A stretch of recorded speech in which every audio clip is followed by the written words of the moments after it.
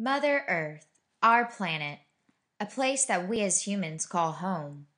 Life on Earth has been evolving and growing rapidly, but not in the best interest for the preservation of our planet, but more so for corporate, industrial, political, and cultural power.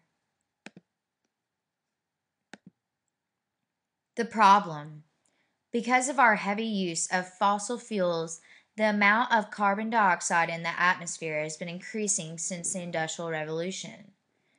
The destruction of the forests which use carbon dioxide also contributes to the increase in carbon dioxide.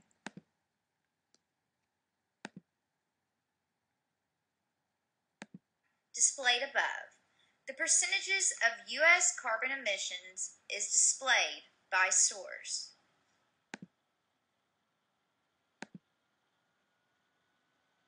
Chart displayed, we see a visual representation of the level of carbon dioxide emissions in the U.S. from 1820 to 2000.